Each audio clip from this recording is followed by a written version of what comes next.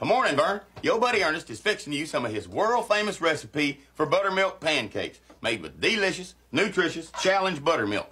See, it's the one with a little elk on the label. Only it ain't elk milk, it's cow's milk. I mean, who'd want to milk a elk?